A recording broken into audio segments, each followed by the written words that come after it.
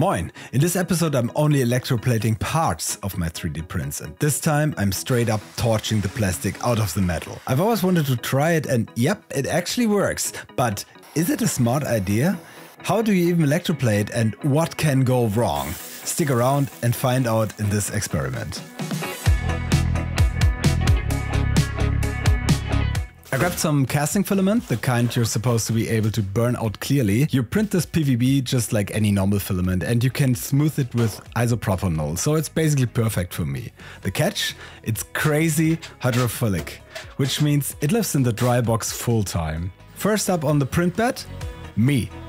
Yeah, I was going to do this with a friend, but she bailed the moment she saw the first test pieces, so now I'm sitting here with this cringy thing that's supposed to be my likeness, wondering how I made it, snapped a few photos, ran them through an AI bust generator, there's one on Maker World. Over on the resin side of the lab, I'm firing up my beloved Saturn 4 and loading it with casting resin. In theory, you should be able to just burn it out clean, right? Guess we'll find out. I put it in and did a quick exposure test straight on a nitrile glove. Once it cures, it turns deep blue and feels almost like wax. I learned fast that these prints need seriously chunky supports and that the material itself is pretty brittle, but I kinda expected that.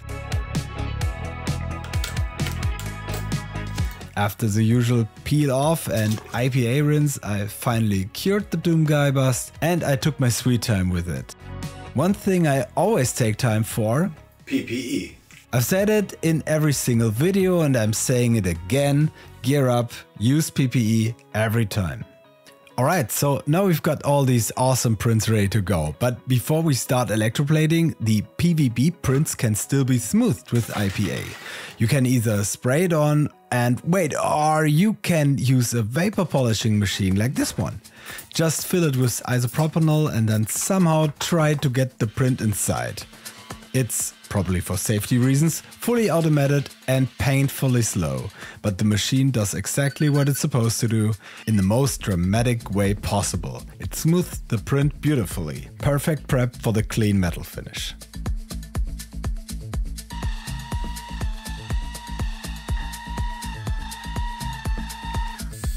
Now I'm drilling venting holes into the smooth print so the electrolyte doesn't build up too much pressure inside. I didn't have to do that for the resin print though. And now comes the most important step of electroforming, the conductive paint. I'll say it again, I use two types of paint that work really well. Copper paint mixed with acetone for airbrush application and as a solid alternative graphite paint. Graphite might even be better, but it's a lot trickier to handle. I've made several videos showing how to mix it, check out some of the more recent ones if you're curious. Today I'm going with copper again, spraying it on in my airbrush booth. Thin coats, multiple passes, sounds easy in theory, but I know how it goes. You get impatient, go full throttle and suddenly the layer is way too thick. Then it dries weird, ruins the surface and you're back to square one. But if you take your time, it usually turns out great. I promise. Now, electroplating. I've explained this a thousand times already, but maybe this time I'll flesh it out a bit more. First, you need an electrolyte. I almost always use an acidic copper electrolyte because it plates quickly and is inexpensive. It also regenerates itself so I can use it over and over again. Next, you need a tank to hold the bath, plus some polypropylene filter bags. I made these myself. These bags are filled with copper. I just use ordinary copper, but copper DHP works best. And yes, it's important that the copper makes that noise. Just kidding. I put the electrolyte into the tank and add a copper plate at the anode. Over time, the copper dissolves and carries copper ions over to the 3D print. The anode is connected to the positive terminal of a standard bench power supply. Any 0 to 30 volt supply will do as long as it delivers a stable current. Sometimes I use a 5 amp unit, sometimes a 30 amp one, depending on the average uh, amperage I need. I wrap the 3D print with copper wire. Rule of thumb, create multiple contact points. The wire is connected to the negative terminal. That closes a circuit and continuously pumps copper atoms onto the conductive 3D print. Then I hang the part on my rotary jig. The jig keeps the coating even and I also have a stirrer under the tank for aeration. Fancy, but it gives great results. Current density is crucial. I always aim for about 1 to 1.5 amps per square decimeter and ramp up over 30 minutes from 50% to 100. In the previous video I showed an online surface area calculator for STLs. You may check that out. Now all the prints go in one after another. This time I electroformed each print for roughly 5 hours, which gives me layers about 240 micrometers thick. So what can I say? They already look great, the parts come out of the bath almost exactly like this.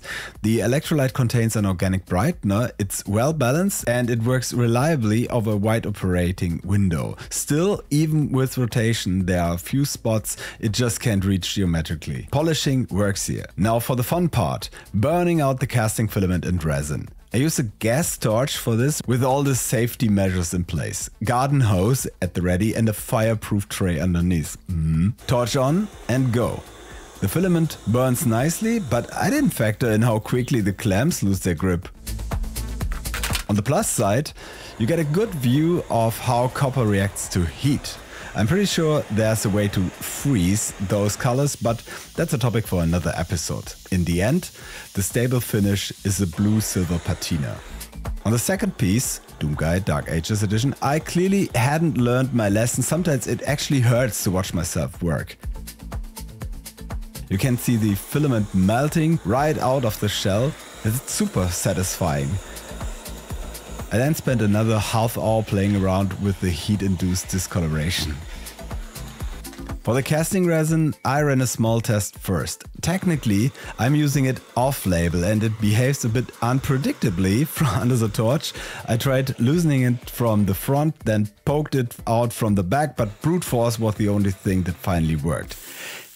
It got a little sketchy, but once I quenched it, I could peel it off pretty cleanly. And that, dear friends, is the pitiful end state after the burnout. To get it shiny again, I first have to strip off the oxide layer.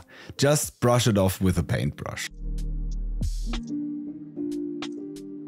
Then reactivate the copper with an acid. I'm using a galvanic activator for that. Next, the parts go back into the electroplating bath, but this step is much quicker now. My copper anodes are pretty much dissolved at this point, so I have to add fresh ones.